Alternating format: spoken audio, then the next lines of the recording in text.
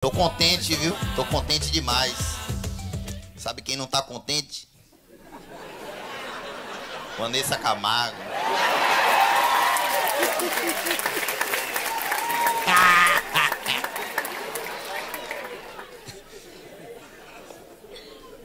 Sabe o que é isso aqui?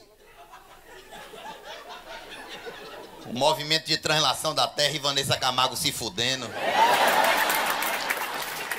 Quem esperava, né, rapaz? Que uma mulher casada com Dado Dolabella ia fazer um negócio dele.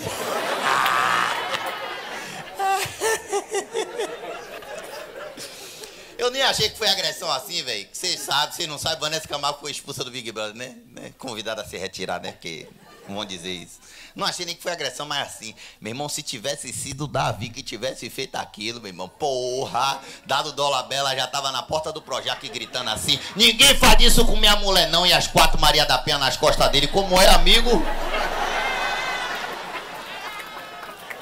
Mas eu concordo que ele tem que falar mesmo sobre esses casos de agressão, até porque ele tem local de fala, né? Então.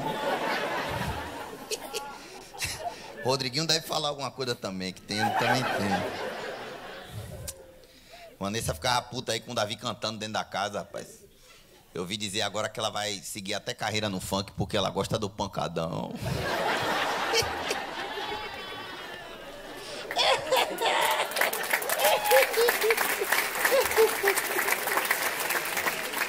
Fica imaginando um documentário, porra. Porra, vai ser foda. Primeiro vai ter o treino no Fantástico, né? O treino no Fantástico, ela lá na praia.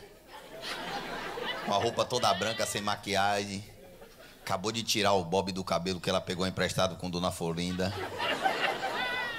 Uma correntinha assim com pingente de Nossa Senhora andando na praia assim. E o narrador falando assim: muitas derrotas passaram pela vida de Vanessa Camargo. 40 anos de carreira, 40 anos aí, carreira de cantora, e o único canto que vai fazer parte da vida dela agora é o da casa do pai dela, onde ela fica chorando.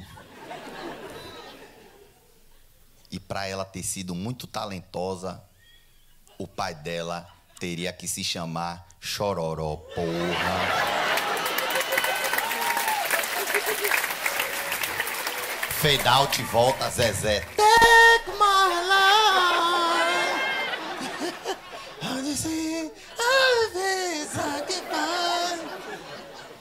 Fecha de novo, volta, a cara dela assim, a vida depois do gatilho. Ela assim na capa. A Rafinha abaixo do lado assim. em breve na Rede TV.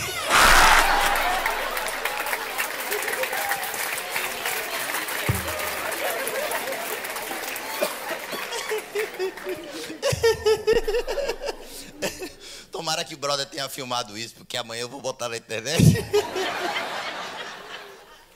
Caralho, que situação da desgraça, velho.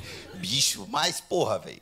Foi estratégico, tá ligado? Isso aí. Ela já tava muito queimada. Aí expulsa, não vai ter entrevista com Ana Maria Baga, não vai ter entrevista com o eliminado, não vai ter dancinha do TikTok.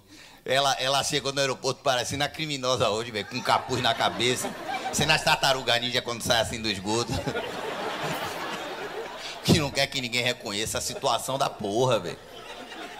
Porra, que situação. Eu ia querer que ela fosse conversar com, com Ana Maria Braga e com o papagaio que ressuscitaram aí com o Edo Tensei. Queria, eu ia querer. Papagaio já tava morto, velho. Trouxeram o bicho de volta pra ter que passar por isso.